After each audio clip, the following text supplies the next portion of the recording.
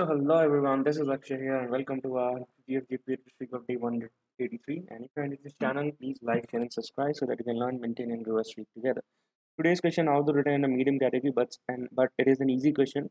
If we have uh, done this question in the stack when you have uh, learned this data, data structure stack you must have encountered a question of nearest smallest distance or the greatest smallest distance according to a particular index right? So if you have done that question then it's very simple right? If not let's do it. So given an array where each element array, array of i represents the height of the tower for find find for each tower the nearest possible tower that is the shorten.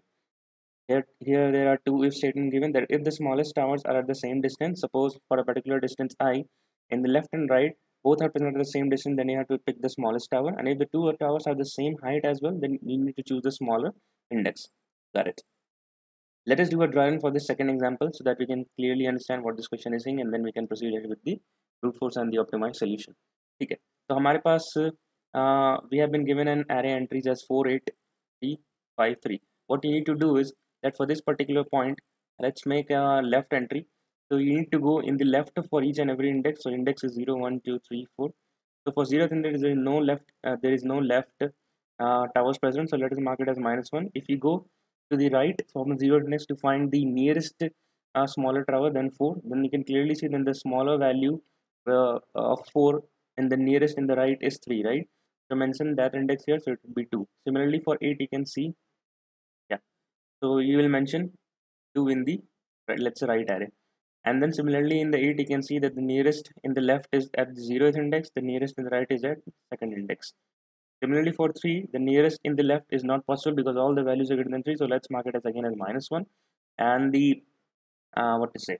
In the right hand side you can also see that there is no lesser elements the 3 there you can have 3 but that equals right? So you need you need the lesser uh, values less than 3 so there is no possible element present. So let us mark it again minus 1 similarly for 5 we can mark this index as 2 and in the right you can mark this index as 4 similarly for 3 again it will be minus 1 and minus 1 right and now you need to return that uh, among which the uh, it's uh, uh, which one is the smaller one right and if the if they are present at both at the same distance then you need to mention the uh, smallest index height ठीक है तो यहाँ पे देख सकते हैं यार कि हमारे पास for this zero index there is no tower present in the left right तो हमारे पास बस एक ही टावर बचता है which is eight index to which is in the right so clearly इसके लिए जो हमारे पास जो फाइनल आंसर है वो टू ही हो जाएगा right similarly for eight you can clearly see you can minus this distance right?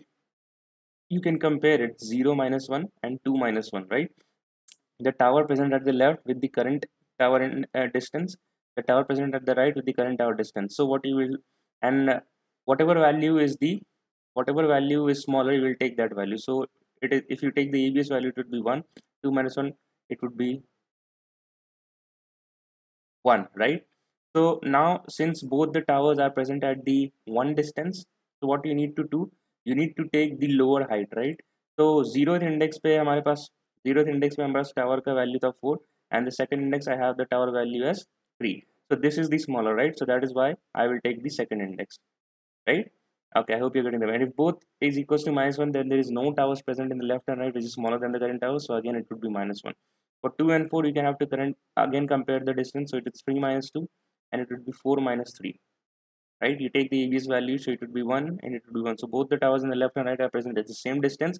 Now you have to compare the um, uh, tower values tower height values. So in at index 2 the tower height is 3 and at index 4 the tower height is also 3 right? So if both the tower height are also same then you have to take the left one right? Then you have to take the if height is also equal if height is equal then take the left one. Take and left. Right? This is what mentioned this is what mentioned in the question right? So you can clearly read that if clause. Mm, if the two towers are the same height then we choose the smaller index right? And the smaller index eventually will be present in the left hand side. So left hand side the index is 2 again the two the two the two answer will prevail here. For the minus one minus one you will definitely do the minus one right what would be the brute force technique? The brute force technique is that for each an index i you traverse in the left and you traverse in the right and you store this in the left array and then you store this in the right array right? And uh, you have to make some this if if clauses right? That uh, after finding the if uh, the left and right you have to compare that if abs of let's say left minus i is let's say what uh, greater than or less than right?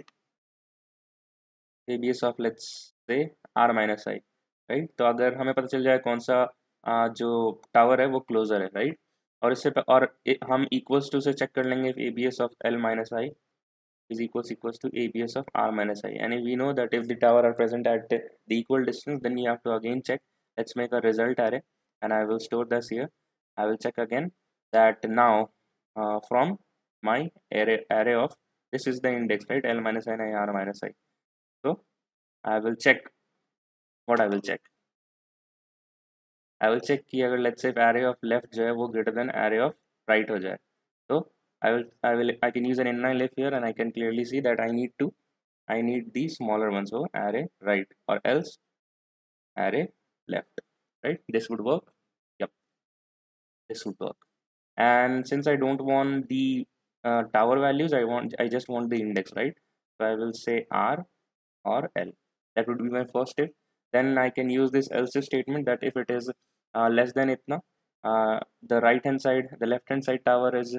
present uh, nearest right? Then I can clearly appoint it as rs uh, result of i is equals to left right? And in the else cases now we have seen that uh, uh, we have handled that the left was present nearest to the tower. So in the else case it would be result of i is equals to right. That is it. That is it. And this would all be this would all this all comparison would be happening this all comparison would be happening if and if only the what left is not equals to minus 1 and and right is not equals to minus 1 right? Right is not equals to minus 1 yeah. And in the else if we can handle it now that if if uh, let's say that uh, what uh, left is equals to minus 1 right? Left is is equals equals to minus 1 then we can clearly appoint our answer that result of i is nothing but right right? And this would be an else if case. So this would be our global steps right? This would be by first if then this else if and all will be the nested. And this would be second else else if and then at the last in the else i will check that if right is equals equals to minus 1 then result of i is equals to left so i've given you the entire pseudocode or you can say i've given you the entire code. Please pause this video here.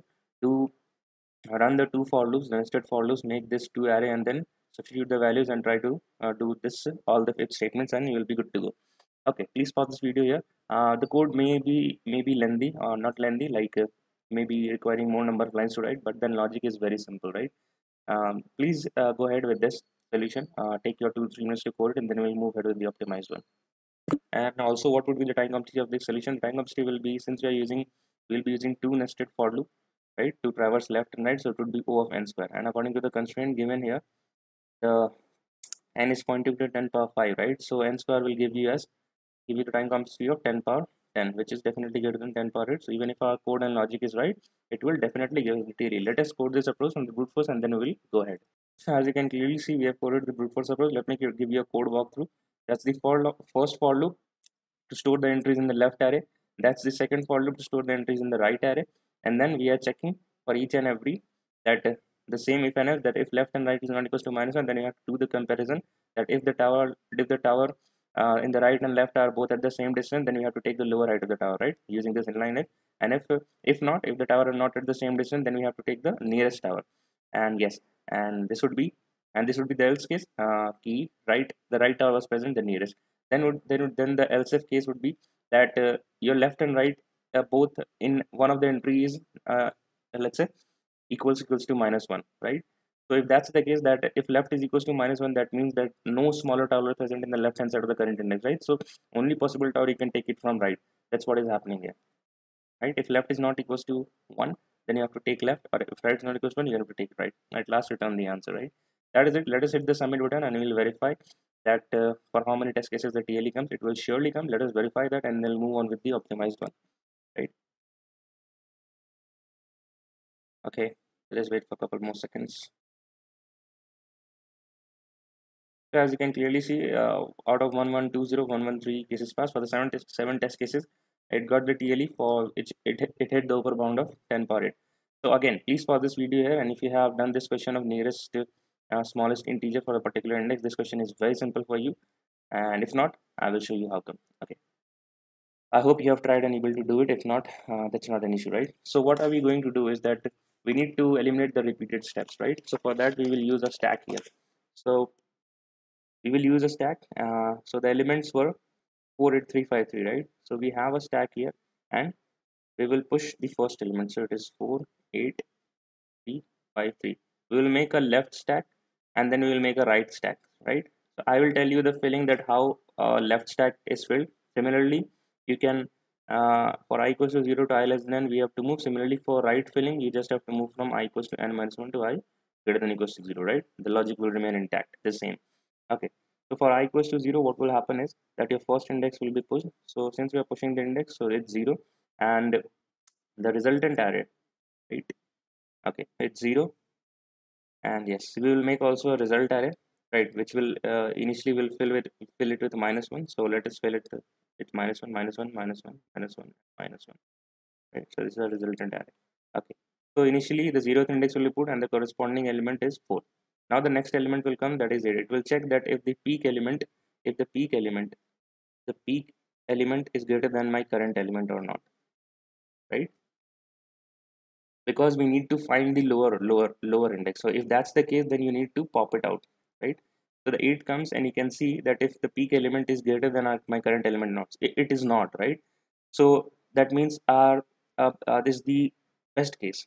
We, we just found our uh, lower tower in the left hand side right? So what we'll do we will update this zeroth index 0 1 2 3 3 4 we will update the first index with the peak index right in this stack it will be updated with 0 right? Okay and this element would be pushed. So now the stack will have the one which is corresponding to it.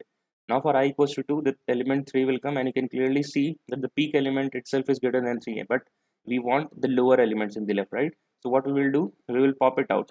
We'll pop out this current element.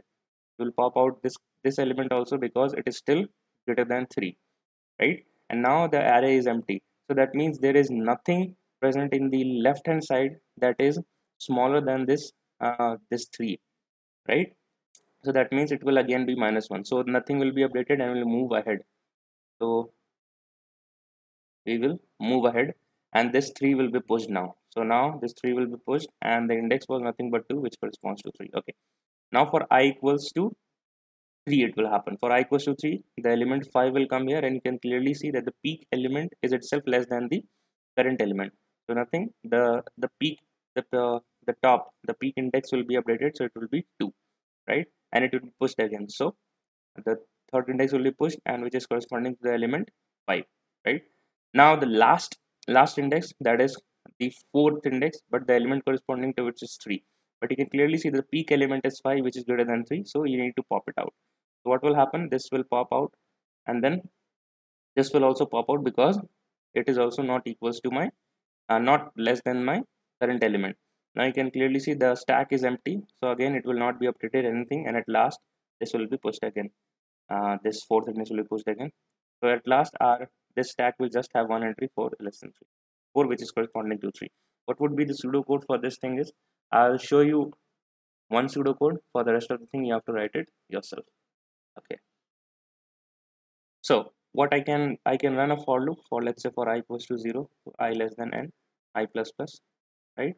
And i can check i can check that while my left is not empty. I can call the is empty function using exclamation mark and an array of left right? Array of left dot p. Left is nothing but the stack name. If it is greater than equals to array of i then you need to pop it out. So pop. You use the pop function. And uh, if uh, and, and then again if the if that's not the case that you keep on popping it but again you have still some uh, what uh, elements indexes left in this tag so that means you have reached your condition and you need to update your answer. So result of i is nothing but the left dot p right? You have got your answer and the last we just to need the index that you just processing for you need to push that you need to push this index right? So that would be the pseudocode right? And this your result array will be updated as this thing. Minus 1 0 minus 1 2 and minus 1 right? Similarly you have to do the same pseudocode but the only difference would be that you have to start it from i equals to n minus 1 so i greater than equals to 0 i minus minus right and for each and every value you are getting you will be comparing with the values present in the result of i. The same if else statement that you did in the brute force right? Please pause this video try to code this yourself and then we will move ahead. And what would be the time complexity of this code will be that you'll be using first for loop and then you'll be using another for loop in parallel so it would be o of n in overall. And the space complexity will be that you're using two stacks so 2n plus you're using a resultant array for n so it will be o of 3n right? But since the constraint is 10 power 5 which is less than 10 power 8 so this solution will definitely get submitted. Right. Please pause the video and try to code it yourself. Okay so that's the pseudocode we have made the two stack left and right and the resultant array where the left values are stored right? Okay so the first of all we are, we are marking the result as minus one then we use the same pseudocode i showed you to uh, to update my result array. Uh, result array uh, will be updated uh, in line number 56 by the lower the smaller tower present in the left for each and every index right? Then we have to use another stack to calculate the same thing for the right right hand side. Here we are going from n minus 1 to greater than equals to 0 the same the same pseudocode that we did for the left right? And then it's just that now we will not update the direct result value but we will compare everything right?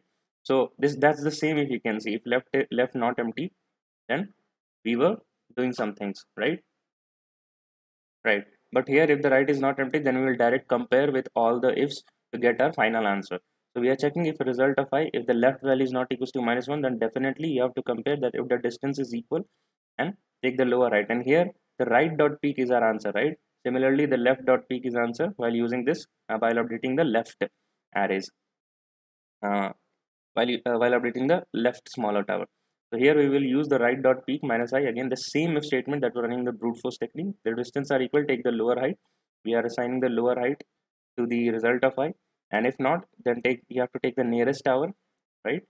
And that goes for uh, right dot peek. And if second else would be that if resultant if result of i that is the left if result of i is equals equals to minus 1 this implies that no smaller tower is present in the left in that case you do not have to do any comparison just put this smaller tower present in the right that which we are getting from right dot p. And at last right dot push dot i is the same that we did for left dot push dot i right? That's it. Let's hit the compile button and we will see for ourselves. So you can clearly see the input test cases have been passed successfully. And we have we have already discussed the time states o of n and the space complexity is o of 3 and so let us hit the submit button and then we can verify it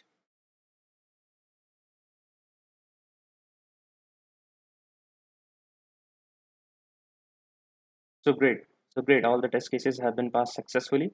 Let me show you the C++ code as well, what uh, the changes need to be done. I will also give you this in the description, but yes, let me give you a code walkthrough. So that's how the C++ code will react. Uh, you just have to maintain, uh, change some syntaxes. That is the stack is just clear like this. And the same for loop for the filling the left hand side, the same for loop starting from minus 1 to greater than 0 for filling the right hand side. And those are the same if statement. And at last, you have to just return the result, right? I'm not hitting the submit button for this because it will now update in my DSA repository. Also, I mentioned my DSA repository link in my link description. You can just use Control plus plus F to search for the Java codes. For the C++ code, I will give you a, another link. Till then, keep learning, keep going. Bye bye, and take care. Let us meet tomorrow in the uh, tomorrow's streak of day 184. And again, if you are new to this channel, please like, share, and subscribe so that I can I I can make this video again for you guys with full energy and patience. Okay, bye bye. Keep learning, keep growing.